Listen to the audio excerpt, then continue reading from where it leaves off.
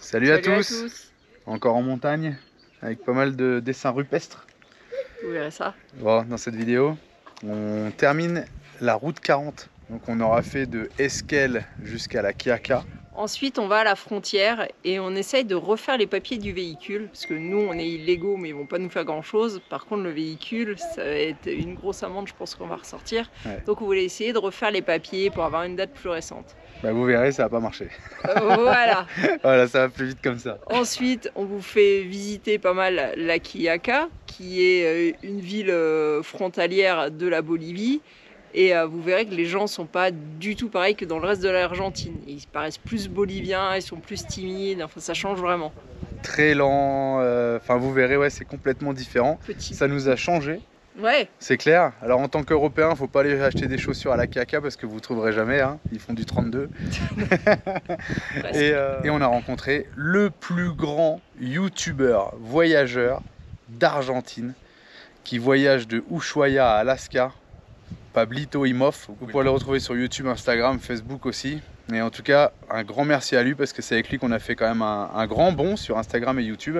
Merci Pablo. Instagram, Et- et c'était un mec super sympa. Ouais, Nous, on le suivait un petit peu comme ça sur Insta sans plus. Et puis là, on est tombé sur lui. J'ai dit putain, c'est un truc de ouf quoi. Il était en train de filmer le camion. euh, Nous, on revenait à pied donc c'était rigolo quoi. On a fait une belle rencontre. On a passé euh, une petite semaine avec lui. Parce qu'il a eu du mal à passer la frontière et tout. Enfin, vous verrez ça. Allez, on vous laisse là-dessus. Nous, faut qu'on redescende maintenant. À bientôt. À bientôt. Ciao. Ciao. Bienvenue sur la chaîne XCG Family où vous pourrez suivre notre aventure.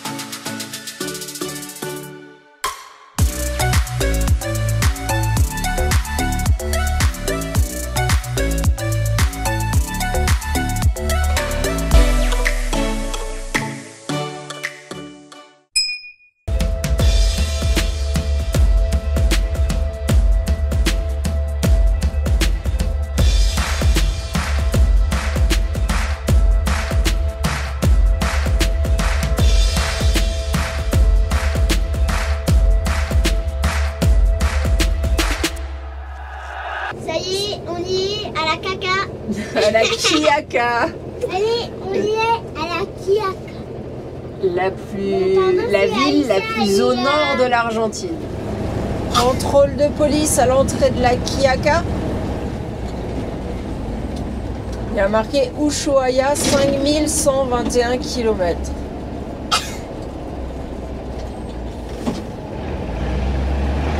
Bon bah, Sacré contrôle. Il nous a juste fait signe de passer. Bon bah ça y est, on l'a fait. On vient de voir un panneau à 500 mètres fin de la route 40.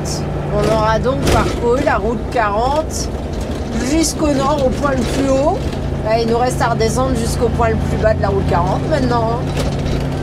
Il y a un petit panneau. Ah, Roncoy Ruta 40. Ouais. Voilà, c'est la fin de la route 40. On a dépassé la route 40.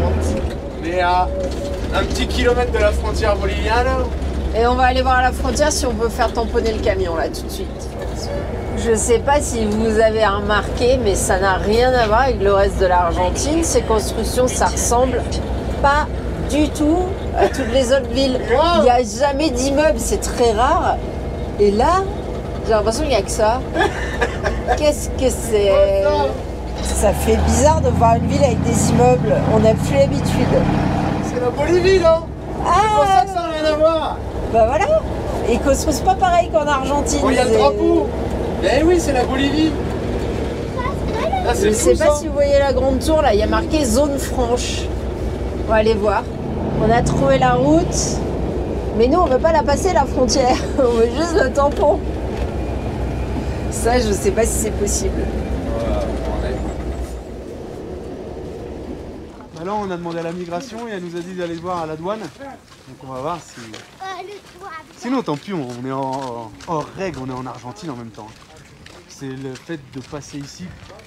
Voilà, c'est l'opportunité, on demande. Maintenant, s'ils veulent pas, Parce que quelqu'un nous a dit qu'il y avait eu une prolongation jusqu'à mars. 190 jours, donc 3 mois après janvier. Maintenant, nous, même si on le refait ici, de toute façon, il sera périmé quand on sortira au Chili. Mais la date, elle sera moins, moins grande. On verra. Bon, bah, aucun résultat parce que La dame, elle nous dit, vous avez trois mois pour sortir. Bah, il dit, euh, d'accord, mais à partir de quand? Alors elle dit, euh, aujourd'hui. Mais on lui dit, mais sur nos papiers, la date d'aujourd'hui n'a rien à voir, puisqu'elle nous a rien refait. Ah oui, et après elle nous montre euh, la date d'entrée, donc en mars 2020. Il y a trois mois pour sortir. On lui dit, bah oui, on sait bien, sauf qu'on était coincé pour la pandémie, donc... euh, il fallait sortir il fallait sortir. Bah oui, mais si t'es enfermé dans le Pueblo, comment tu fais Euh, Bref. En gros, elle savait rien parce qu'elle nous dit si, si, il y a eu une extension, euh, il y, a, il y a 90 jours de plus, machin. Ouais, mais à partir de quand bah, Elle sait pas. Et nous, on sait pas non plus, mais il y a quelqu'un qui nous avait dit qu'apparemment, il y avait un truc qui courait jusqu'en mars. Et elle, dit bah, faut que vous alliez euh, au prochain euh, poste euh, de douane. On lui dit bah on va pas être au niveau d'une frontière Pour un an. pour un an. Elle dit ah non non non faut aller à un poste de douane. Alors on lui dit on va être à Cordoba. Elle dit si si il y en a un à Cordoba capitale. Donc euh, il faudrait aller là, mais à Cordoba capitale il peut nous dire faut sortir. Ouais. Alors je sais pas trop. Elle nous dit bah, si vous sortez pas, euh, votre véhicule va être réquisitionné et en plus vous aurez une multa. Ouais, Argentina. Donc je sais pas trop, c'est un peu bizarre en fait, elle sait rien du tout. Si, quoi. après ça c'est la loi, elle a raison. C'est trois mois, ton véhicule est séquestré. Oui, oui, normalement. normalement ton véhicule est séquestré après trois mois, mais bon, On est en Argentine. enfin, euh, on sait pas. Euh, on connaît plein de gens là qui sont sortis dernièrement et euh, voilà, on les a pas embêtés. Maintenant, si on sort dans un an, c'est un peu différent. Donc, euh, ben, on n'a pas plus d'informations et pourtant, on a été directement au poste frontière. C'est ça, l'Argentine. Voilà Premier jour à la Kiaka Il fait 9 degrés à l'ombre. Il se gèle les coupougnettes. Et bon, on va vous faire faire le tour euh, du marché. En fait, il y a des stands un peu partout, fixes ou pas fixes. Et en fait, tout vient de Bolivie, en fait. Comme on est à la frontière de la Bolivie, on vous montrera d'ailleurs. Et euh, beaucoup de choses viennent de Bolivie. Apparemment, c'est moins cher. Et ils viennent les revendre là, quoi. C'est des containers qui ont été transformés en petites, euh, petites maisons euh, de vente. C'est plus sympa le soir. Hein on rentre installé Oui, mais il y a moins de gens. ça. Et il y a vraiment de tout. Hein. Et c'est certainement tout du faux, je pense, vu les prix. Parce qu'il y a beaucoup de marques, mais 13 euros la paire d'Air Max. Là, il y a un coiffeur.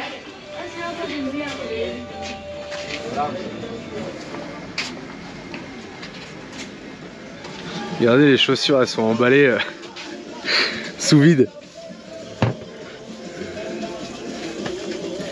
Petite Vans, 10 euros. Ils vendent même des glaces là, il fait pas assez chaud, hein, on est en manteau nous. Hein. Eux ils ont l'habitude, mais plus nous, hein, c'est fou. Ah, des jus de fruits. Ah, là c'est un cordonnier. Oh la vieille machine. Et la réparation de la zapatilla Mira.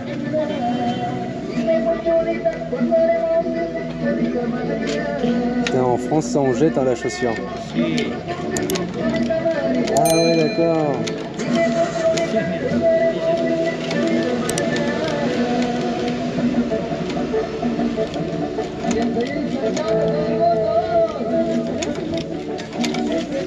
Délire, hein Il fait 22 degrés Ah, ah, ah. C'est vrai que là, au soleil, ça, ça reprend bien là. Donc voilà. On arrive sur les stands de nourriture. Ah, les empanadas. Ah bah là, c'est que des empanadas tout le long. Oh, ça sent bon, hein. Vous avez pas l'odeur, mais ça sent super bon. Fruits et légumes. Ça, par contre, on a remarqué ici tous les fruits et tous les légumes qu'il y a. C'est impressionnant. Ouais, il brille. Comme au Maroc, du vrai charbon de bois, des vrais morceaux. Ça change, hein. Ce qui arrive en Europe, ça doit être tous les déchets. Grave. Grave. Ouais, je préfère celui du Maroc parce qu'au Maroc, t'as vraiment la branche d'arbre. Voilà, il défaut aussi. hein. Ouais, mais c'est plus du bloc ici. Un parpaing ici. Ah, la caca, c'est vraiment différent de l'Argentine. Hein. Se croirait en Bolivie, Eh, les petits ânes.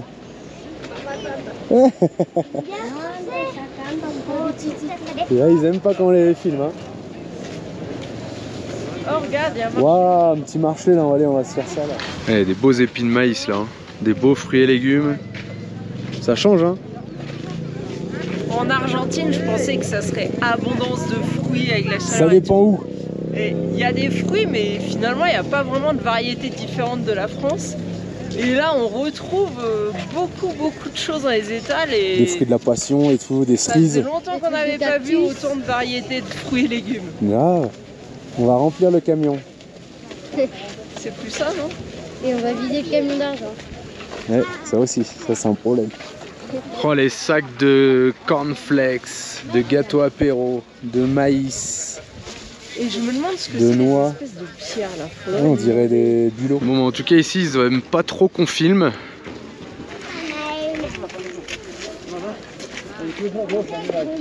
C'est un truc de fou, tous les fruits et les légumes qu'il y a. Impressionnant.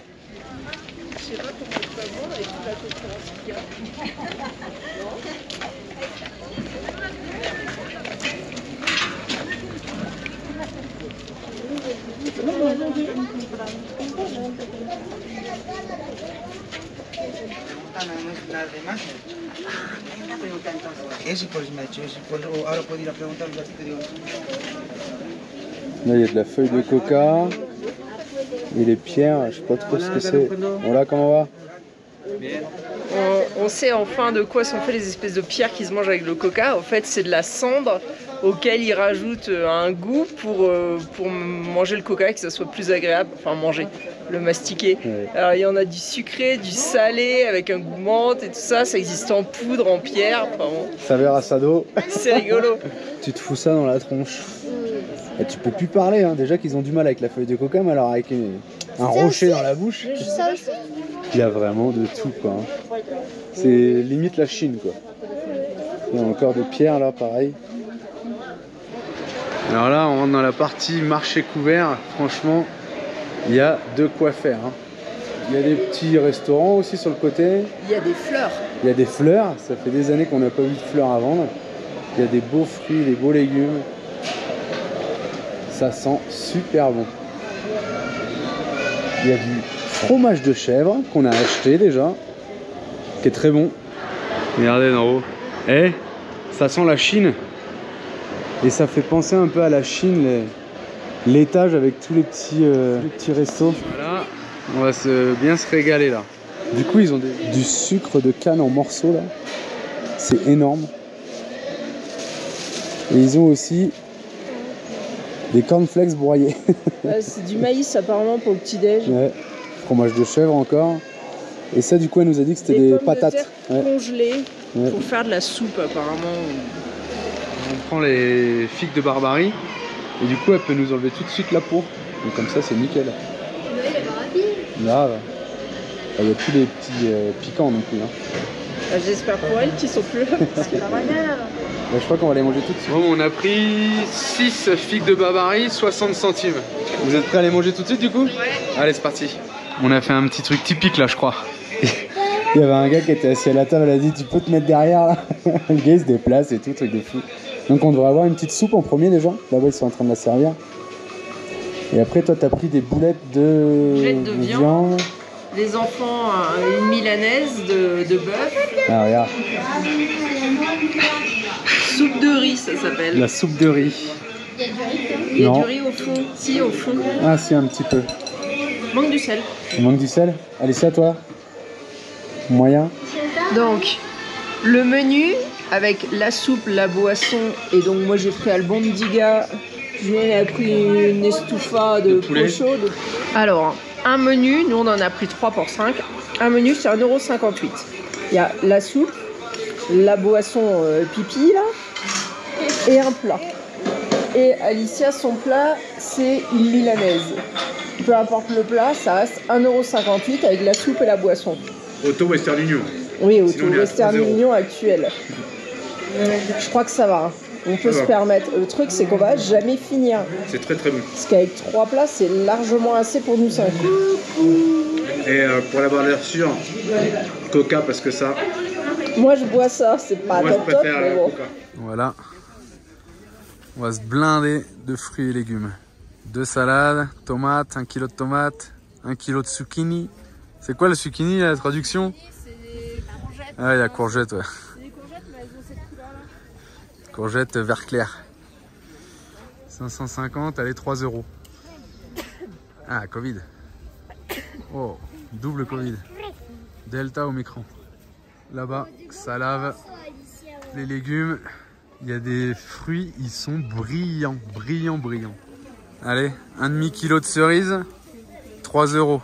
En plus, elles sont belles, elles sont bien noires là, bien sucrées. Bon, alors là, on a rencontré un sacré gars qui voyage de Ushuaia jusqu'à Alaska avec sa petite moto. Bon voyage, mon ami. Ouais il va faire une petite course et puis il revient nous voir tout à l'heure là. Au revoir, Julien. Eh voilà Ciao Pablo Délire Projecto Alaska. Et ça fait longtemps qu'on le suit sur Instagram et puis euh... Et puis ouais voilà, délire, on l'a rencontré là. Bon, comment ça se fait qu'on doit repartir en centre-ville Marie? Parce que je vais acheter du poulet pour faire de l'escabèche de poulet. D'accord. Et tu crois qu'à cette heure-là, c'est ouvert Je pense, il est 6h30. Et voilà, ça c'est l'Argentine. L'après-midi, la moitié des stands, enfin l'après-midi, en soirée, la moitié des stands est fermée. Il faut attendre qu'il fasse nuit pour que ça réouvre. Et tout reste comme ça, il n'y a personne en fait. hein. Ah oui, on va aller là. Là. Tout est fermé? Là c'est l'endroit des... de la viande. Poreria, Mila. Ah ouais, bah elle est fermée la prochaine. Ah, il y en a bien une autre. Alors, là c'est la viande. Avec les mouches. Ça fait, ça fait partie de la viande, les mouches Non, écoute, la viande est belle. Hein Là, il y a Tiens, il y a du poulet là. Les carniceria, ils ont du poulet, mais il faut l'acheter en entier. Il faut aller dans une pocheria, donc un truc que de poulet. Et là, Donc, tu on y peux acheter que du blanc de poulet. Si ils en ont. À mon avis, ça va être mort parce qu'il y a marqué poulet au kilo. Donc, à mon avis, c'est cuit. On va voir. Voilà. Bon bah. Ils ont pas reçu leur livraison de blanc de poulet, donc euh, ils veulent pas séparer les poulets parce qu'il va leur rester Non, il a les dit. pattes. Non, il a dit, on sait pas faire. Il a dit. Ah, j'ai pas compris On, ça. on sait pas des ouesses, des il a dit. Ah, il sait pas des, des ossés. Ouais. Bon, Ah, qu'est-ce des qu'on ouesses, fait ouais, on, ici. va- on fait de la viande La escabeche. Pero no sé quel type de carne. Bon, bah, on n'a pas trouvé, on va demander à un autre. Ça, c'est l'Argentine. Il y L'Argentine. en a pas un qui a ce que je vois, ça. Si, il l'aura demain. Ouais, à 2h. Mais c'est comme tout en fait, que ce soit de la viande ou autre chose, il En t'envoie fait, il toujours t'envoie par. chez le voisin et encore et encore. Bon, là, il y a une pocheria. Donde Et attends, la dame, elle cuisine quoi? Oh la vache. Oh, C'est quoi ça? Ah, bah, c'est du poulet, Marie. Ouais. Putain, toutes les patates. Ce soir, c'est patates sautées et poulet. Tu peux pas lui demander d'en donner un peu? Ah, c'est ça qu'il te faut pour l'escavette, Marie. Bon, bah, du coup, euh, la poleria, elle est en travaux. Il a dit que. Ah, ça y est. Bon, bah, là, on a ce qu'il faut, hein. Putain, le mec, il monte à pieds joints sur les palettes de poulet, sur les poulets directement avec ses pompes pourries. Le pauvre, il s'est défoncé le bras. Et là, je sais pas si vous voyez, il y a la pechuga. La pechuga, c'est quoi du coup euh, Pechuga de pocho, le blanc. Le blanc de poulet quoi. Ouais, j'ai pas envie de mettre des os dans l'escabèche, c'est relou après quand tu l'as. Putain, il a combien de poulets là Je pense qu'il a. Surtout, c'est pas une pièce réfrigérée. Hein. Non, mais je pense que du coup, c'était fermé pour pas que le soleil il tape, Ouais, ouais. à mon avis. Avec des os le poulet, je sais pas si vous voyez. Ça y est Donc on en a 6 pour 4,50€. Euh, 1000, euh, 1170 pesos. 4,59€. Bon bah voilà, on va pouvoir faire de l'escabèche. Ils sentent pas le poisson Je crois qu'il venait d'être livré vu la quantité. 100 quand même pour voir Non. Non Ouais, On verra si on continue. Covid. Si on continue les vidéos, c'est qu'ils sentaient pas le poisson. Alors voilà le résultat de l'escabèche. Je vous ai pas filmé quand je l'ai faite. Faut d'abord faire euh, dorer le poulet dans la poêle. Et ensuite, on rajoute environ un tiers de vinaigre et deux tiers d'eau. Moi, je préfère quand c'est plus acide, donc je mets moitié-moitié. Il y en a qui mettent un tiers de vinaigre, un tiers de vin, un tiers d'eau. Et ensuite, on rajoute au poulet, une fois qu'il est grillé, pas forcément complètement cuit, mais au moins un peu grillé, euh, les légumes avec donc le liquide. On laisse cuire jusqu'à ce que les légumes deviennent tendres. Ensuite, on vide l'eau de cuisson. On rajoute les condiments qu'on veut. Et on complète dans des pots avec de l'huile, huile d'olive ou euh, huile normale. Si l'huile d'olive a beaucoup de goût, ça risque de cacher le goût des aliments. Donc à vous de voir ce que vous préférez.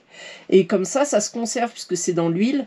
Puis ça permet d'avoir toujours de la viande à disposition quand il n'y en a pas, puisque on s'est retrouvé un peu à court de viande quand on était dans les montagnes, puisqu'on ne pouvait pas en acheter. Donc voilà, c'est une solution, c'est une sorte de conserve en fait. Et de l'escabèche, ici, ils en font à tous les goûts, que viande, porc, vache, poulet, euh, de Jaguar, tout, jaguar, crocodile. crocodile. euh, et on rajoute, si on veut ou pas, des légumes, ou alors ils font aussi beaucoup d'escabeche qu'aux légumes. Voilà, une idée recette. Bon alors là je sais pas ce qui se passe, mais on vient de se faire réveiller par de la musique. Je vous emmène. Énormément de taxis sur l'avenue là.